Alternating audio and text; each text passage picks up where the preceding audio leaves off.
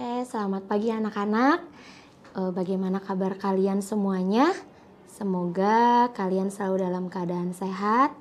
Nah, sekarang kita akan mendengarkan eh, cerita inspiratif di pagi hari ini eh, mengenai atau judulnya adalah ikan dan kura-kura. Ibu mulai ya. Nah, suatu hari ada ikan dan kura-kura yang sedang ber- bercengkrama. Tiba-tiba ikan tersebut melontarkan pertanyaan pada kura-kura. Mengapa setiap kali menghadapi masalah, kamu selalu bersembunyi dan masuk ke dalam cangkang? Apakah pertanyaan itu sangat penting untuk dijawab? Kura-kura bertanya kembali. Semuanya yang hidup di kolam ini ingin tahu kenapa kamu selalu sembunyi saat menghadapi masalah. Jawab ikan. Apakah komentar dan pendapat orang lain penting untukku?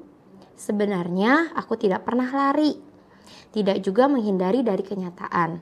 Aku hanya merasa menemukan suasana damai ketika berada di dalam cangkang. Jawab kura-kura panjang lebar. Tapi apakah kamu tidak masalah jika senantiasa dibicarakan para penghuni kolam? Ikan bertanya penasaran. Inilah yang menjadikan aku bisa hidup lebih lama dan berumur panjang daripada kalian. Kalian sangat sibuk mengomentari hidup makhluk lain dan memperhatikan makhluk lainnya sampai melupakan siapa sejatinya diri kalian. Sebenarnya, dalam hidup kita sendirilah yang akan menentukan pilihan. Tidak ada gunanya mendengarkan setiap komentar buruk orang lain, selama kita sudah berusaha untuk melakukan yang terbaik. Jika ada orang yang menyukaimu, ia akan terus memujimu sekalipun tindakanmu keliru. Sebaliknya, orang yang membencimu akan fokus pada kesalahanmu sekecil apa pun, sekalipun saat itu kamu bertindak benar.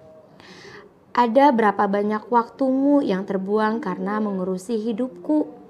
Bahkan, kamu sering kali lupa kapan harus beristirahat dan memperhatikan hidupmu sendiri.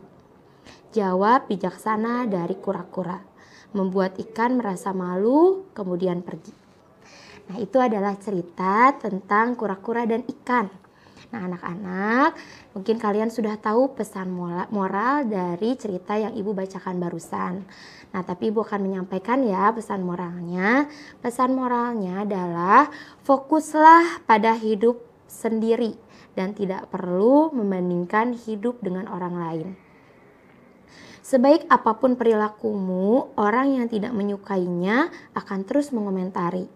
Sedangkan seburuk apa pun perilakumu, orang yang menyukaimu akan terus memujimu. Oke, itu cerita pagi hari ini.